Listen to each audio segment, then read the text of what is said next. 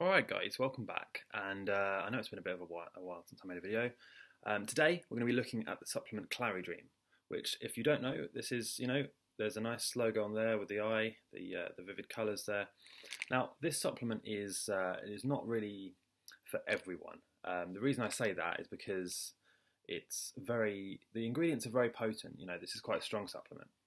And uh, you know, if you're not used to taking dream supplements, um, I would maybe I'd still take this. You know, this is a very good supplement to take. Um, but I would, I think they actually advise on their website to take only one or two a week, um, and to, to make sure you get a break in between using, you know, taking the supplements because the ingredients are strong and it works. And uh, you know, you can say that both ways. You know, this is that's actually quite a good thing. The ingredients are so strong in this that it works. And for that reason, you know, you only need to take one or two a week. Now, I've been using this uh, for a while, um, and I've noticed that my dreams are more vivid. Um, they sort of they're more colourful. They're more um, in depth, I guess you could say. And uh, that's partly because of the ingredient mixture they've got here. Uh, you know, they've got chamomile, choline bitartrate, valerian root, Chinese club moss, and passion flower extract. Now, those ingredients work sort of synergistically together um, to make your dreams that much more vivid. Um, now, I won't bore you too much in this review. I'm just going to sort of explain a little bit about how to use this, um, how it works, the best way of taking it.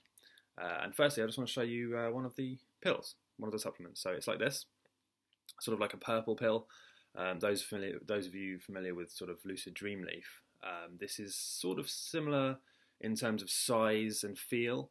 Um, the colour is obviously this is purple, but um, sort of similar to the blue pills in the Dreamleaf supplement.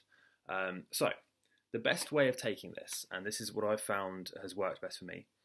Uh, obviously, try it for yourself, see what you think would work best as well. Um, but I find the best way of doing this is to set your alarm for sort of two or three hours before you would normally wake up. Say if you would normally wake up at eight, set your alarm for five, four in the morning, that sort of time.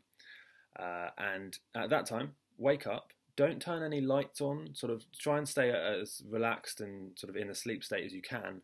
Um, wake up, take a pill, um, you know, wash it down with some water, um, and then go back to bed, to get comfortable, and just fall back asleep. Now, while you're doing that, obviously you combine this with the wake back to bed technique, which is exactly that.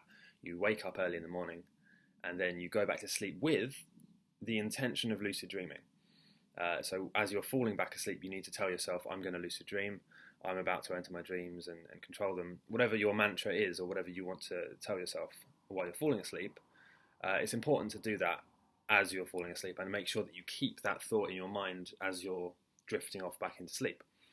Uh, and that's it. That's I find that's the best way of using Claridream. Um, if you want to know more information about it, obviously there's uh, a lot more information and more testimonials on their website uh, which you can you can go to uh, howtolucid.com forward slash claridream. You should be able to get a discount. Uh, it's going to be a redirect link for you. And uh, and that's it really. So if you have any questions, please leave a comment and don't forget to subscribe.